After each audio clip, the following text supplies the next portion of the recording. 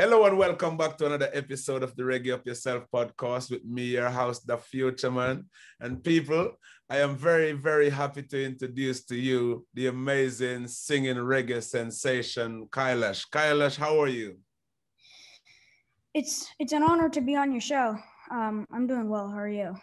I'm very well, thank you. I must say that's nice of you, but the honor is all mine. I've been like watching you and following you on social media for a long, long time, and um, yeah, so I'm very happy to have the opportunity to actually, even for myself, to know more about you. So can I ask you where where are you from? I'm from San Francisco. Okay. Born and raised? Huh? Were you born and raised in San Francisco? Yeah, yes. Okay. And um, how, how old are you? I'm 10 years old. You're 10. Wow. You're very talented for a 10 year old, I must add. Um, so, what the first thing I want to know is how did you get into reggae music? And also, not only reggae music, but the reggae music that you're listening to is like real roots reggae music. What started it? Where did this love came from? You gotta hand it uh, to my dad. He grew up in uh, Key West, and he listened to a lot of reggae there. Yeah. So he intro- he was the one who introduced it to me. Okay. And can you remember how old, how old you were when you started listening to reggae music? Basically, since I was a baby. okay. So what about the singing though? When did you decided that you want to be a singer? When did you start singing? That happened, I think, like about two years ago. Though okay. honestly, I've been like singing also since I was a baby but I started to do it professionally about two years ago. Oh, that's amazing. And can you think why did you want to start doing that? I just love the reggae music and I wanted to be a part of it. Okay. And you're very good at it as well, I must add, by the way. Um, but you listen, why do roots reggae though? Because a lot of youngsters love dancehall and the different type of music, but you actually love roots reggae music. Why roots reggae? It's, I mean, like the roots reggae is the music of the people. It's the heartbeat, the boom, boom. Yeah. Boom, boom, the Nyabinghi drum pattern. Yeah. It's, you got to stick to the roots. that's a very, that's a very good point, and that is very conscious. Um, you know, um, I am very inspired and amazed of how conscious you are. I mean, you're very humble young man, which is amazing. Which like I watch you on stage quite a lot, and I see that you just let the music and the performance do the talking, you know, which is amazing. So you're doing roots reggae, and um, you started out when first time I saw you, you was um, you was like doing covers of songs and playing keyboard and stuff like that on Instagram. Yeah. Um, yeah. So you you learned to play um you learned to play like keyboards from a young age. How old were you when you started playing keyboard? I started uh, taking lessons when I was three years old. Wow. Um, the first time I ever had a keyboard was when I was two years old. Wow. Thanks. Do you play do you play any other instruments? Yes. I mean, I basically play all of them. My strong suit is keyboard, but yeah. I also play like guitar, bass, drums, of course, singing. Um, wow. I'm I'm writing my own songs right now. Oh wow, that's amazing! So how many songs have you written so far? Um, five to ten. Well, that is amazing, and you have been recording your own songs, I see as well. Yeah do you take um do you take singing lessons and stuff? Because i noticed that you're actually really good at harmonizing your own song. I saw you on instagram where you're singing a song but the backing vocals are coming out which is you doing the harmony as well. So you you understand music like that keys and stuff. Yeah yes. That's amazing. So you started um listening to roots and feeling it, feeling the drum, the Nyabinghi, and um, you love roots because it's the heartbeat of the people, which is amazing because that's really what it's about for real.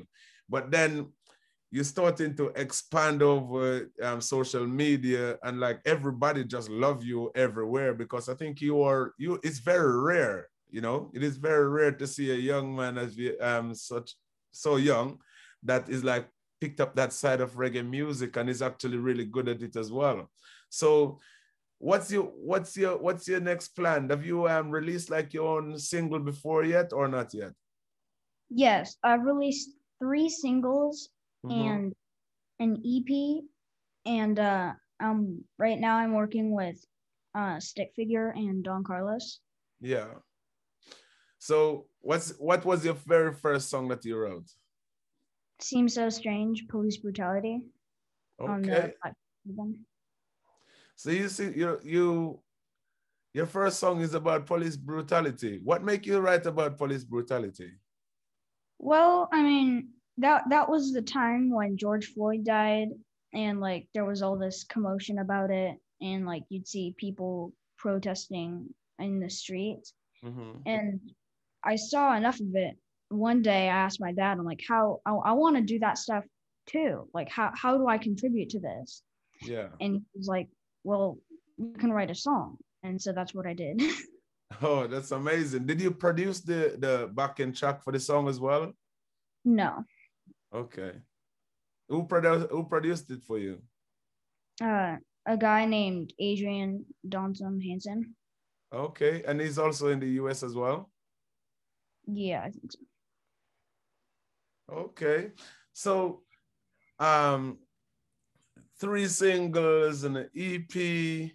And um then I noticed that you also been um doing a lot of shows with an amazing and incredible legend reggae artist Don Carlos. How did you how did you get to meet Don Carlos? Uh well actually the the first time I met him, like mm-hmm. I, I didn't even know I was gonna be performing with him. That yeah. was at the Right Vibes Festival in Santa Cruz. Yeah. And I had played a set with another band before, yeah. and the plan was just to like stay for Don's set yeah. and then go home. But then halfway through the set, Dawn called me up. I'm like, what? Were you nervous? A little bit, yeah. Oh, that's amazing. But before I ask you more about that, you say you you just did a set with another band before. So does that mean you got you got a band being rehearsing to perform in the festival and things? How long did you perform for? Uh I only performed three songs. Okay. Was that your first performance? Have you performed anywhere before? I haven't performed reggae anywhere before, but mm-hmm. um, I do study classical piano. Yeah. So I've done a lot of piano recitals before, but like yeah. that that was the first time I ever got handed a mic on stage with a band behind me. and, uh, yeah. Oh wow! So then Don Carlos call you up on stage, and um, you went on stage to perform with him and how did the audience receive that? Did they love seeing you on stage? Yeah i mean it i had like the audience knew who i was after i had gone the first time yeah. but they weren't expecting me to make a second appearance so like yeah. crowd went wild. That's absolutely amazing. That's amazing. So then from there you um but you have done a lot more gigs with um Don Carlos since. Yes. I've uh the next one I ever played after the festival was at the Red Rocks Music Amphitheater in Colorado. Yeah.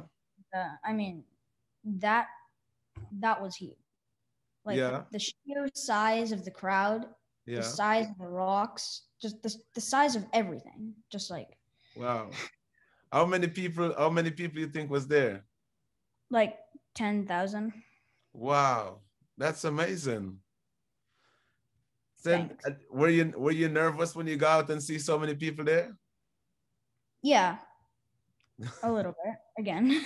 yeah. Do you do you get um? Are you feeling yourself now getting more confident and more used to going out on stage with a lot of people? Oh yeah, yeah, mm-hmm. definitely. But you also been doing a lot of show with um Don Carlos. It look like you've done many shows with him now. So does he take you under his wing and said, "I'm taking this young man to some shows with me"? Yeah, yeah, yeah. How many cities do you think you've been so far? Uh, I don't know. I mean, I'm gonna have to count. Um, okay. Yeah, San Diego. Yeah. Uh, Santa Cruz, San Francisco, um, LA, Colorado. Yeah. Oh, that's amazing. And, and uh, I'm I'm going to Berkeley next week. Yeah. Another is that, show. Is that you're gonna perform with them Don Carlos next week as well? Yep.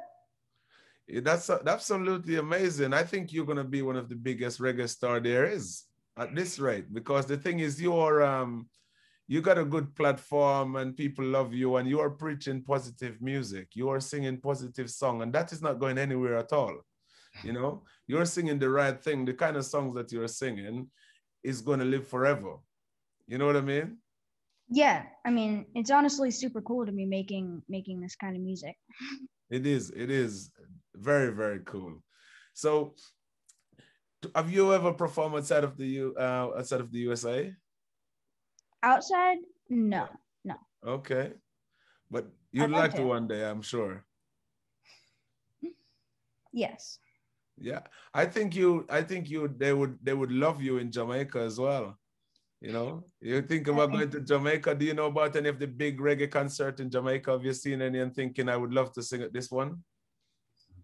Yes. Um, I definitely love. I I definitely like to take a trip to Reggae Sunsplash. Okay. Have you heard of Have you heard of Rebel Salute? That's the one that uh, most of the Rasta go and perform. Um, I think I've watched someone perform there. Yeah. Um, yeah. Yeah, Rebel Salute is an amazing one as well. So were you any other kids that you know at your age that want to go into music and want to sing? What would you say to them? Uh, I'd say, I mean, the first thing you got to do is get yourself a teacher. Yeah. and then you start learning how to sing. Mm-hmm. And then I honestly think that, like, you should also learn how to play an instrument so that, like, you could start producing your own tracks and stuff. Yeah. And the like writing, learning how to write lyrics and stuff. Yeah. Yeah, that's very good advice. So basically, I want to know next question I want to ask you is who is your favorite reggae artist of all time? Not Don Carlos. I'm, I'm, I'm, gonna take Don Carlos out of it. You don't have to say Don Carlos. Apart from Don Carlos. Apart from Don Carlos. Okay. Um, I mean, I have. It's hard to pick just one. Like, okay, G- give me five. Gregory Isaacs, Garnett yeah. Silk, um, who was I thinking of? Tenor Saw. Yeah. Uh, Nitty Gritty. Mm-hmm. And this doesn't really count as one artist, but I'd put the episode. No, no, no. I I just want some of your favorite artists. I just want All some right. of your favorite artists. So, um, so but basically, what I what I take from that, and to anyone listening or watching, is the fact that the names that you are calling are all really great, legendary reggae artists, like the purest of the purest. Is that how you would like to um, be remembered, remembered or viewed when you grow up and get older, continue singing as one of those reggae icon or?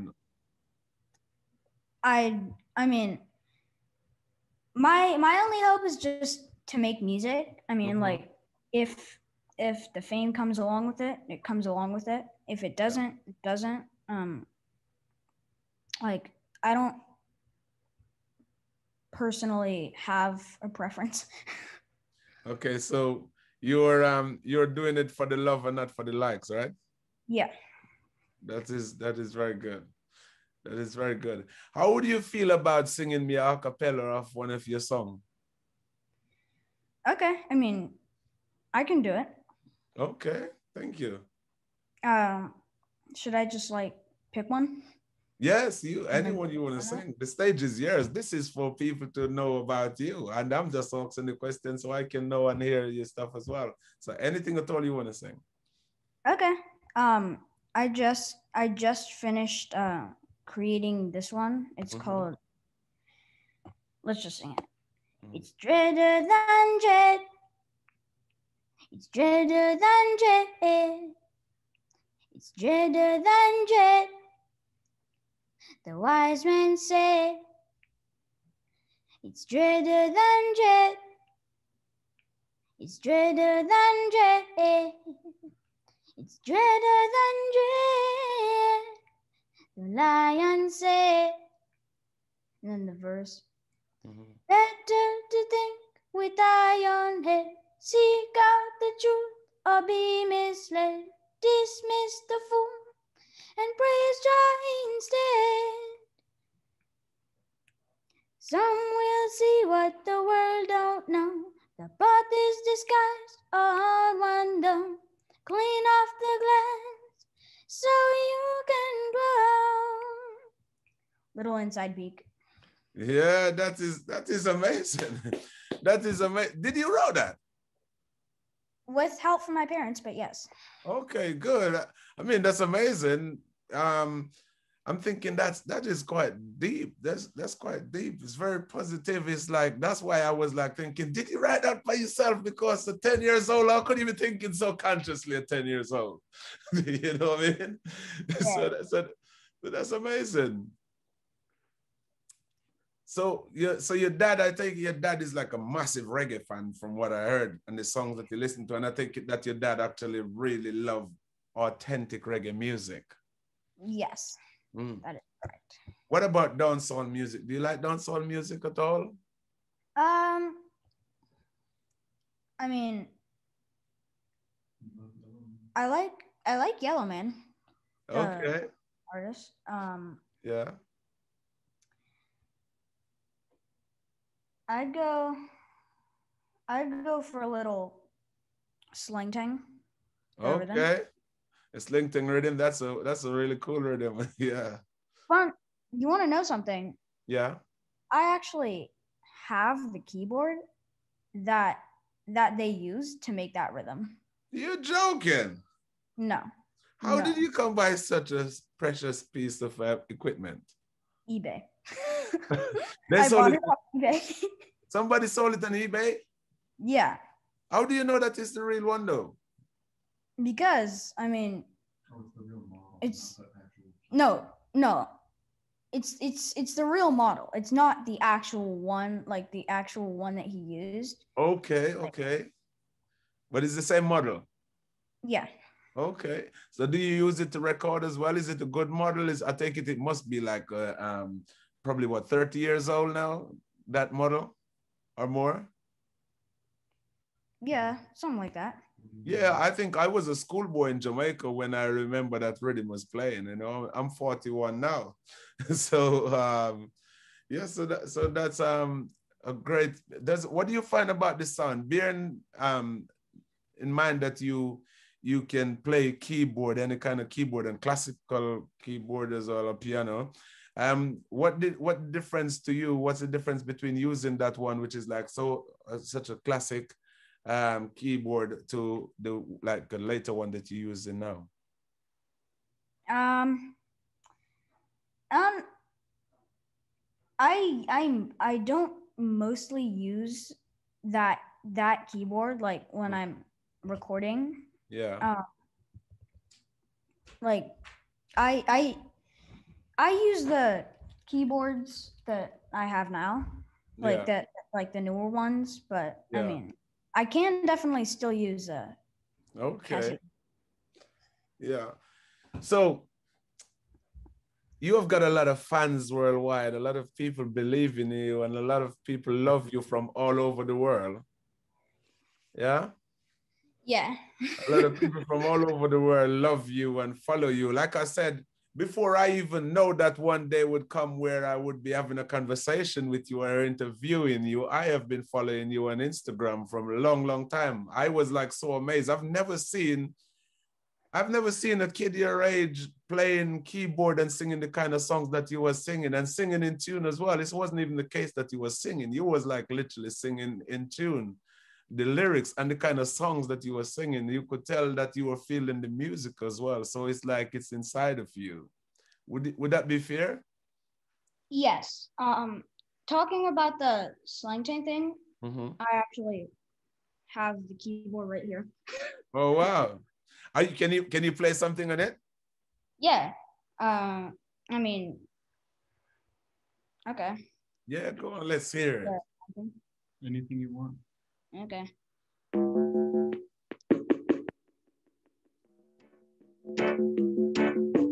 This is a song of the old time proverbs.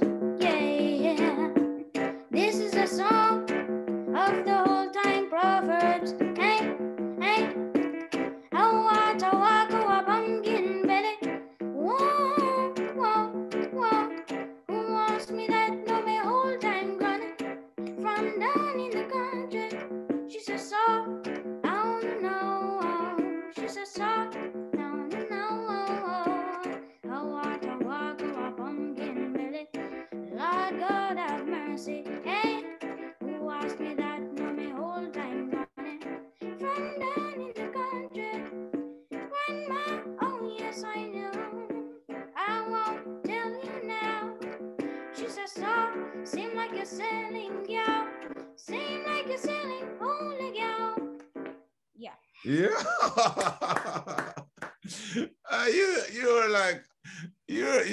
amazing, man. I, am so I'm so amazed by you. It's like literally, it's crazy. I am like so amazed by your talent and how good you are. You can sing. You can sing the way you hold those notes and like you make it so simple. Like I think you was born to do this. I think it wasn't only just what your dad was playing you. Not unless you've been practicing since he was in the home. He literally just came out singing. It's just so natural the way that you sing. It's absolutely incredible. I mean, like, wow. uh, yeah. So I don't know if you know, you probably you probably don't know who I am, but I'm also a reggae artist myself. You know? Oh really? I am a reggae artist myself. I go by the name of Da Fuchaman, which is D-A space F-U-C-H-A-M-A-N. So, you know, I'll send my I'll send your dad my name so you can check out some of my music. I want to hear you singing one of my songs as well. You know, I want to yeah, I want to hear you singing one of my songs as well because, like, I was so impressed the first time I saw you singing all of these songs. I was like, man, I want this kid to sing one of my songs.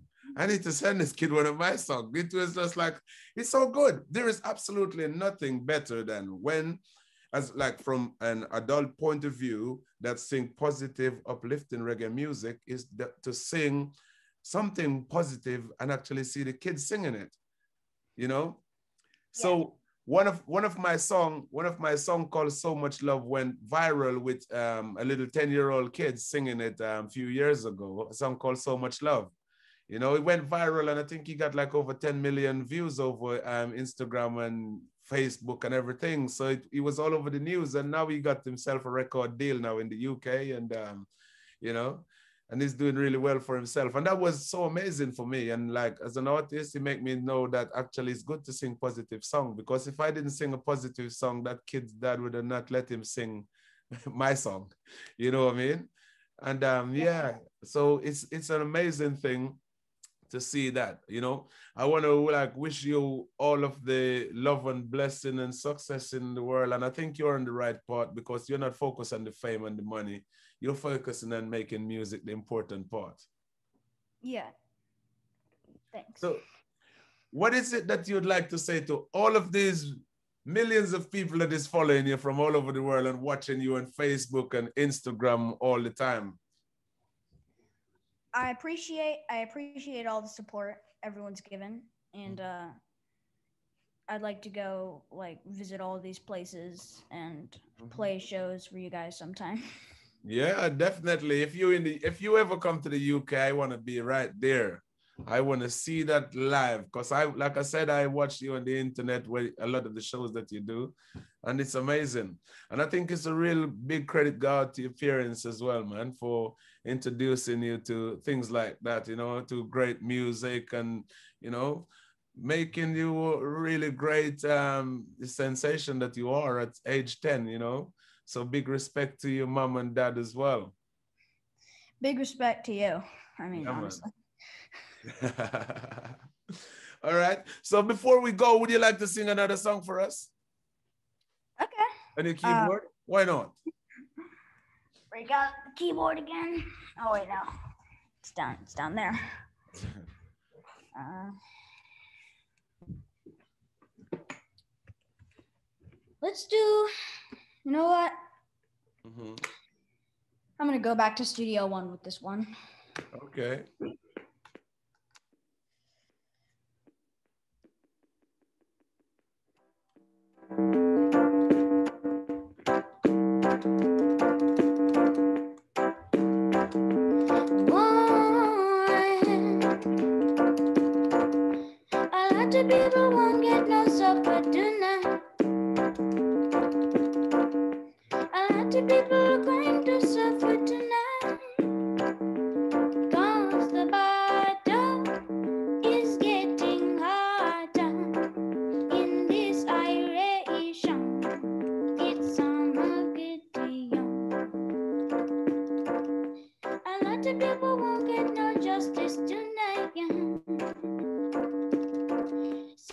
People going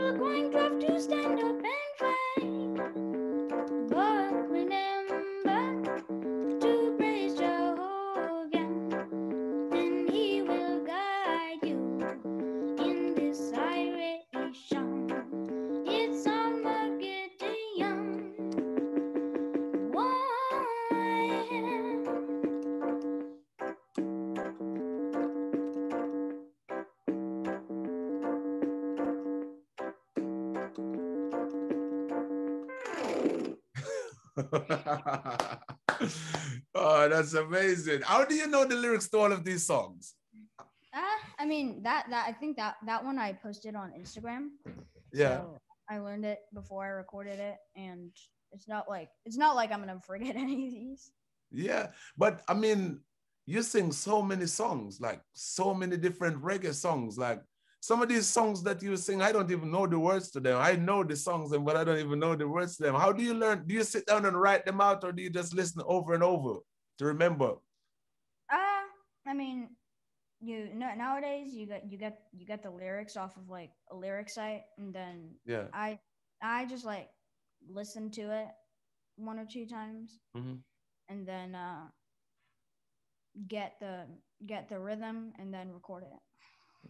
So are you very good at remembering lyrics? Yeah. Oh, that's incredible, man. That's incredible. So you're gonna send you were sending a message to all of your fans and stuff like that. And where can people find you if they want to come and fo- uh, watch this interview and then they want to come and like follow you? Um, if you want to go follow me, my Instagram is Kailash K A I L A S H underscore Irie. So hmm. I feel like um that that's the main place you should go. Instagram. Yeah. And Facebook? What about Facebook? Facebook is just Kailash. All right. Are you on Spotify and iTunes and Amazon and all these things? Yes, all of them. So they just need to go search Kailash and they'll find you. Yep. That's incredible.